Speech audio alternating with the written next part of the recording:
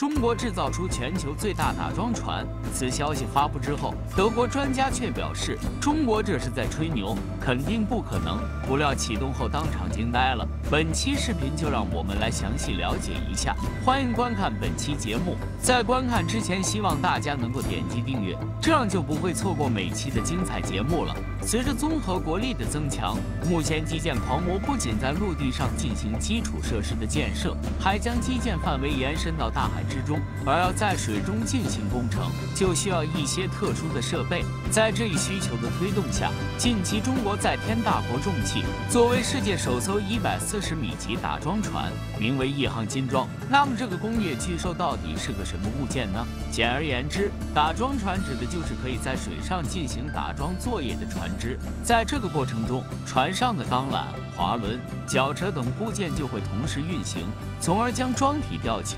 然后借助重要的桩锤机构将其打入水下。此外，在打桩船进行工程作业的时候，也需要其他的专业船只加以辅助。就像航空母舰，从来不只是孤零零一个，抛锚船、拖船等作业船就犹如巡洋舰一样，会跟随打桩船出行。那么打桩船到底有什么用呢？其实打桩船的发展受到了资源方面的倒逼。由于人类在陆地上的活动范围不断扩张，众多不可再生资源的消耗量与开发量都已经达到了惊人的程度。面对陆上资源逐步紧缺的现状，各国自然而然的就展开了探索水下资源的活动。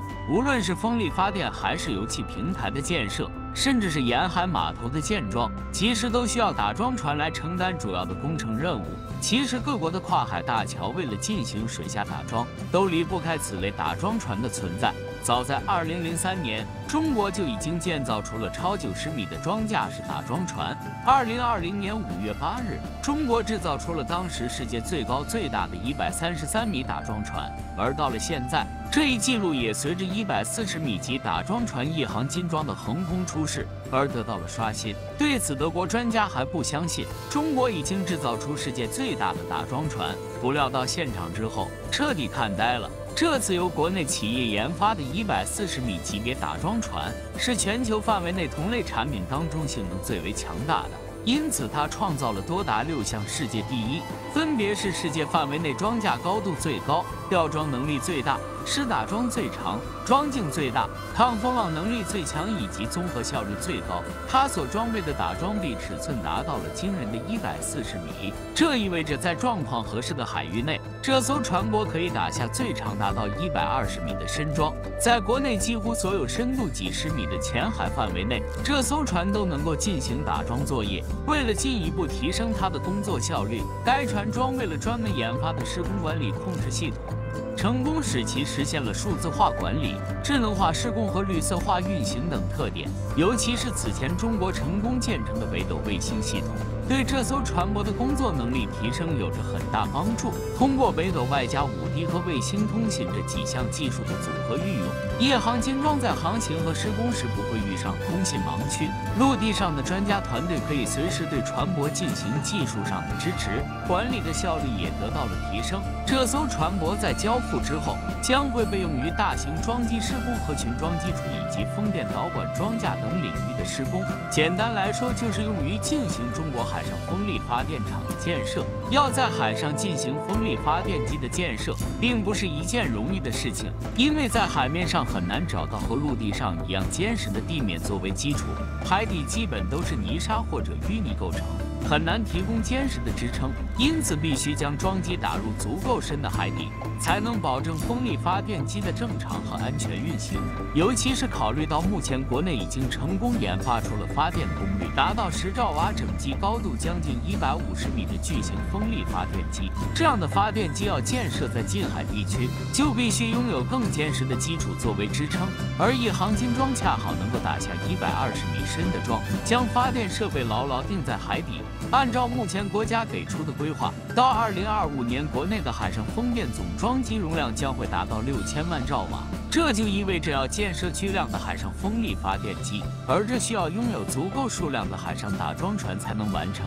而一航金装的出现，也是顺势吸引来了众多西方买家。其实，早在上世纪八十年代左右，全球的打桩船市场多被欧美国家以及日本占据。虽然美国的技术高，但他们的船体大多都是为了满足国内需求，因此在售卖方面，反而是欧洲国家的造船企业占到了大头。由于这些国家的工业化进程要早于我们。所以，众多工程建设完成的时间也要更早，但这也就带来了新问题，那就是工程在落地后，由于技术受到时代限制，随着时间的发展，这些作业也需要进行更新换代了。可如果为此加大打桩船上的成本投入，又不是他们想要看到了。因此，如今众多国家才会动起了购买外国先进船体的想法，而中国就是非常符合他们预期的卖家。中国一百四十米级打桩船在哪些方面吸引着他们呢？一航金装的优越性不仅体现在打桩米数上，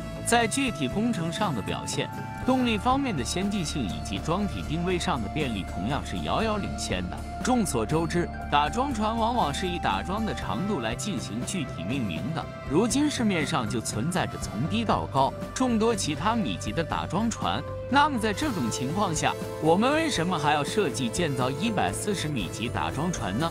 其实这也说明了中国的工程建设逐渐由探索江河沿海，走向海洋更深更远处了。以往在这些水域作业时，较低级别的打桩船完全可以达到作业要求，可一旦向海洋深入，其自身重量以及打桩程度其实都会有点掉链子。但一百四十米级打桩船的存在，就可以完全避免这些问题，因为它拥有着米数较高的打桩机，所以完全可以把七百吨左右、径长不超过六米的钢制材料桩体打入近一百二十米深度的水下。在打桩的选位方面，这一工业巨兽也是配备了北斗定位等多种先进系统。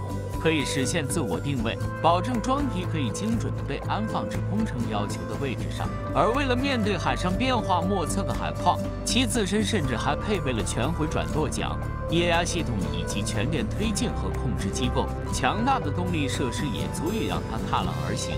截至目前，一百四十米级打桩船不仅参与到了浙江舟山当地的大桥建设当中，宁波象山港铁路跨海大桥也存在着他们活动的踪迹。可以说，这个庞然大物并非花瓶，而是真的在中国的建设作业中承担着不可或缺的工程任务。因此，在实际的工程建设中，夜航金桩的出现让桩体下水的深度增加的同时，也让工程的效率得到了提速。使中国在大海上的征途无往而不利。一航金装的市场广阔，这不仅是因为中国正在工程建设的发展期，也是因为外国也处于基础建设的更新期。人口的增加势必带来资源的消耗，而中国作为人口大国，就需要在这方面提早布局。这也是中国自二十一世纪初开始拥有国产打桩船之后，一直为其设计全新版本的原因。那么，随着打桩船技术的不断研发，我们。可以其他哪些方面获得收获呢？首先，在动力方面，夜航金装使用的可是电力能源，减少了对柴油动力的依赖，也就意味着中国的打桩船要更加环保了。要知道，虽然柴油动力在以往有着稳定可靠的特点。可一旦出现安全问题，引起的后果其实也是不可挽回的。高效、节能、安全的全新打桩船必定是以后的主流。与此同时，全球的能源消费结构明显有着向清洁能源转变的趋势，而天然气作为清洁能源，自然也就成为了各国开采的主要资源。因此，目前众多海上工程中，油气开发作业其实也占到了相当大的部分。可由于国外在打桩船技术上的缺陷，就导致开发效率会受到影响，从而影响到国家发展的方方面面。这也是为啥西方会如此羡慕我们的一行金装的原因。而我们作为发明者，必然会享受难以想象的福利。可以说，高技术力的打桩船。会让中国的众多海上油气开发项目成为可能，而项目的增加又会促进打桩船技术的更新，从而形成了一个良性循环。而随着打桩船富含的技术越来越多，其除了在环保、高效、用途广等方面具有优势之外，甚至还可以帮助中国打开全球的打桩船消费市场。也许有人会说，一航金装不适合出口。但如果我们拥有了第五代、第十代一航金装的时候，是不是可以将老旧技术进行出口，再从其他国家身上捞回一笔技术研发投入呢？本期视频到此结束，喜欢的可以点击订阅，我们下期再见。